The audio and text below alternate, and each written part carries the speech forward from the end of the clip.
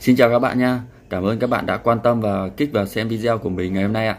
Thì video này mình sẽ hướng dẫn các bạn cách bật công khai số lượng người theo dõi trên trang cá nhân Facebook của các bạn nha. Thì bây giờ Facebook ra phiên bản mới rồi nên là nếu các bạn nào không để ý thì các bạn sẽ không thấy được cái nút uh, số lượng người theo dõi trên trang cá nhân của các bạn thì yêu cầu các bạn sẽ vào đó và các bạn bật nó lên thì làm như thế nào thì các bạn hãy làm theo video của mình nha. Thì trước tiên thì các bạn hãy đăng ký kênh và các bạn like video cho mình để các bạn nhận được video mới nhất từ mình nha. Thì bây giờ chúng ta bắt đầu vào video ạ. Các bạn hãy vào ứng dụng Facebook cho mình nha. Mình sẽ cho các bạn xem ở phần trang cá nhân của mình đấy ạ. Thì bình thường các bạn vào trang cá nhân của các bạn hay là các bạn vào trang cá nhân của người khác thì nó sẽ hiển thị ra số người theo dõi nha nhưng mà bây giờ cái ờ, thuật toán mới của Facebook ấy, thì nó đã khác rồi. Nếu các bạn mà không vào bật ấy, thì nó sẽ không hiển thị số người theo dõi trên ờ, trang cá nhân của các bạn.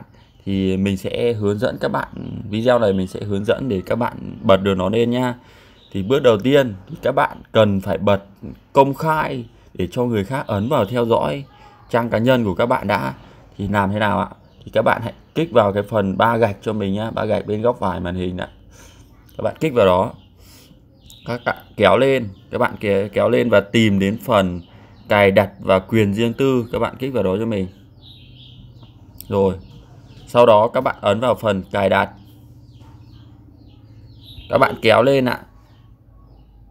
Phần, các bạn nhìn ở phần quyền riêng tư cho mình nha thì nó có mục là bài viết công khai đây ạ các bạn nhìn ở phần ờ, bài viết công khai cho mình ạ. Các bạn kích vào đó. Các bạn kích vào mục bài viết công khai ạ. Thì đây, các bạn nhìn đấy ạ. Thì nó sẽ thông báo cho các bạn là ai có thể theo dõi của bạn đây ạ. Thì các bạn hãy để sang chế độ công khai cho mình nhá. Khi các bạn để ở chế độ công khai thì mọi người khi chưa kết bạn với bạn thì người ta có thể ấn theo dõi trang cá nhân của bạn còn ờ, bạn bè trong, khi các bạn đã kết bạn là bạn bè rồi thì người ta không theo dõi được nữa nha. Thì đây, các bạn ấn vào công khai cho mình. Đây, phần dưới thì có ai có thể xem người theo dõi trên dòng thời gian của bạn thì các bạn để công khai hết cho mình nha. Đây ạ, bình luận, bài viết công khai các bạn để hết sang phần công khai cho mình. Các bạn cứ đọc, các bạn đọc từng mục một nha. Bạn nào mà muốn để công khai thì các bạn để công khai. Còn cái thông tin cá nhân này thì tùy các bạn các bạn có thể để công khai được mà không cũng được. Mình, như mình sẽ để hết công khai nhé đó, sau khi các bạn để công khai rồi thì các bạn quay ra ngoài. Thì bây giờ là, từ bây giờ là bắt đầu khi người khác vào trang cá nhân của bạn thì nó sẽ hiện thị một cái nút công khai ở ngay cái phần ở bên, phần thêm tin nhắn này. Thì bây giờ nhá thì mình sẽ hướng dẫn các bạn bước tiếp theo. Rồi sau khi đã có người ấn vào theo dõi trang cá nhân của các bạn thì các bạn mới bắt đầu bật được hiển thị số người theo dõi nhá.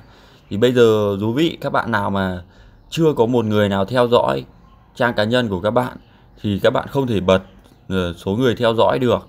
Thì các bạn lưu ý các bạn phải cần nhờ một người bạn bè nào đó của các bạn ấn vào theo dõi, có thể các bạn bảo người ta hủy bạn bè đi, sau đó thì các bạn hãy bảo người ta ấn vào nút theo dõi trên trang cá nhân của các bạn. Thì khi đó các bạn mới bật được tính năng hiển thị số người theo dõi nha. Thì bây giờ như mình đây, đã có người theo dõi rồi, thì bây giờ nó chưa hiển thị sang ra chỗ trang cá nhân này.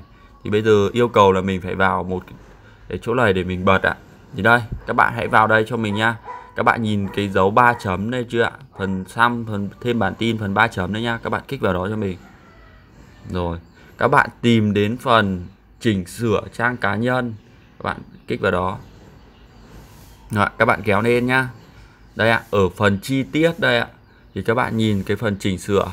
Các bạn ấn vào chỉnh sửa bên phần chi tiết đây cho mình. Ấn chỉnh sửa nha. Các bạn kéo lên. Đây các bạn nhìn thấy dòng chữ cuối cùng đây ạ. Nó có là người theo dõi ạ. Nếu mà các bạn nào mà nhìn thấy cái dấu tích chỗ này nó chưa được tích thì các bạn hãy tích vào. Khi các bạn tích vào thì nó sẽ hiển thị số người theo dõi trang cá nhân của các bạn. Các bạn tích vào rồi các bạn ấn new cho mình nha đây các bạn khi các bạn ấn new xong các bạn noát cho đây mình sẽ noát lại cho trang cá nhân nó chạy nhá. Rồi, rồi sau đó mình kéo lên. Đây các bạn nhìn thấy chưa nó đã hiển thị có bao nhiêu người theo dõi ra đây rồi ạ. Lãy mình cho các bạn xem là không có nhá. Thì bây giờ nó đã cả đã hiển thị được số người theo dõi ra đây. Vâng, vừa rồi thì mình cũng đã hướng dẫn các bạn cách bật lượng người theo dõi trên trang cá nhân Facebook của các bạn. Nếu các bạn nào mà gặp vấn đề gì các bạn có thể để xuống dưới bình luận. Mình sẽ trả lời bình luận cho các bạn. Hoặc là các bạn có thể liên hệ vào các bạn xem ở dưới phần mô tả video nha. Mình có để phần Facebook của mình. Các bạn có thể nhắn tin Xbox trực tiếp cho mình, mình sẽ trả lời các bạn ạ. Thì bây giờ um, video của mình cũng đến đây là kết thúc rồi. Cảm ơn các bạn. Chào các bạn, hẹn gặp lại các bạn ở video lần sau nha.